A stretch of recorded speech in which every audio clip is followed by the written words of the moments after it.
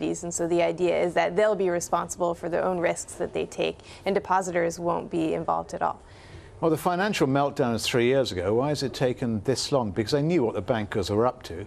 Um, everybody knew that uh, in the city and, uh, well, most people in the House of Commons as well. Three years later, they've suddenly come up with, I know what, we'll stop them gambling with people's money. We'll make them into ordinary banks again.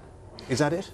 Oh, that's right. It's actually a fairly contentious policy. Um, it hasn't been done anywhere else in the euro area where you've seen similar um, meltdowns in the financial systems.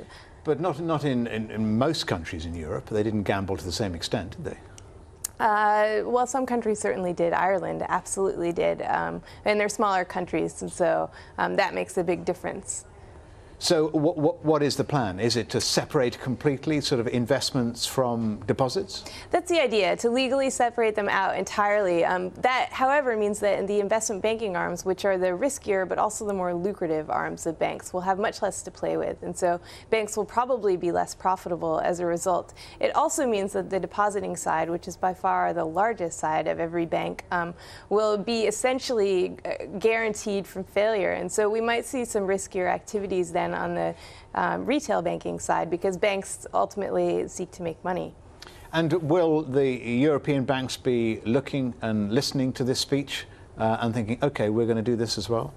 Uh, they will. They, they may go down the same route. Um, I think it's probably unlikely. The one thing that Osborne did mention that I think most other European banks are looking to do is to just stuff their banks full of cash to make them safer. So, according to the Basel III agreements, the, the tier one capital ratios have to be 7%. Osborne says it should be around 10%. And Germany and Italy have already made moves to achieve the same. And will it always help the UK economy?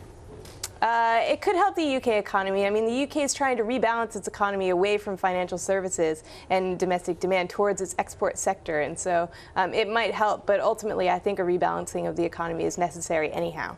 All right, Megan, we leave it there. Megan Greene, thank you.